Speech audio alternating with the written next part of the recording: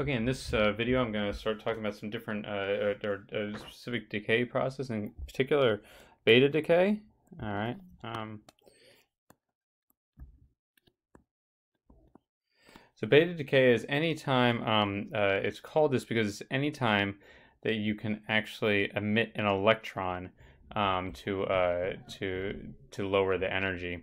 Um, it's called beta because originally they didn't know what the particles were, and they, they just called them beta particles. They eventually figured out that they were electrons and sometimes positrons.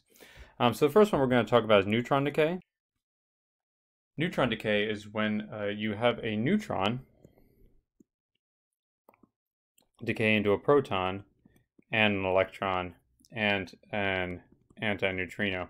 Uh, but in reality, uh, we're we're much we're normally more interested in actually just looking at the nucleus because this happens in the nucleus. Um, and so in this case, you have some nucleus, we'll just call it X initial, all right, that has some Z and A number.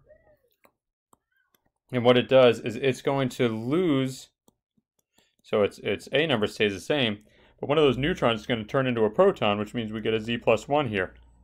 Okay. Um, we also, again, need the electron and the antineutrino.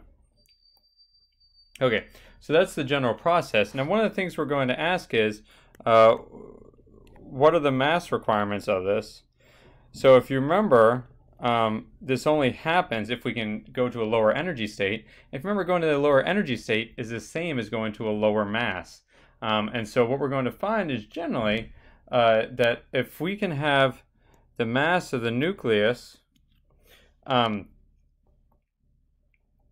less than the, the initial mass of the nucleus less than the final mass of the nucleus plus the mass of the electron, then it will actually decay. All right, so that's the general. Um, uh, uh, sorry, so so sorry, I got that wrong.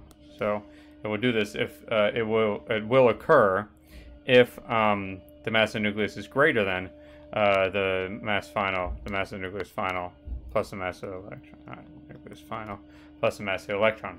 All right, and so, um, but in reality, if we've we've talked about this before, we actually normally don't want to actually do this in terms of nuclei. We generally want to turn this, uh, do this in terms of atoms.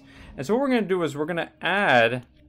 Um, uh, so so if we actually look at um, the uh,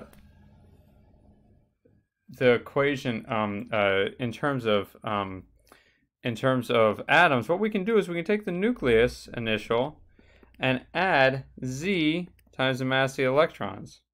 Okay, and we need that to be greater or equal to mass final of the nucleus. All right. Um, sorry, I don't know why I'm changing the way I do this. Mass nucleus final plus Z m of electrons, but we still have this one. So this is plus the mass of electron. Now it turns out that this term is going to give us Z plus 1 times the mass of the electrons, which is great because it turns out that if you remember, this has Z plus 1 uh, protons in it. And so you end up just getting the equation that um, for a neutron, uh, for neutron decay to happen, you just have that the mass of the initial atom, which is just adding those two together, has to be greater than has to be greater than the mass final of the atom. And that's the whole thing. So for this is for um, neutron decay. So if the initial atom is uh, larger than the final, uh, the mass is larger than the final, then it will decay via a um, via a, a, a, neutron decay. And neutron decay is often written as a beta minus decay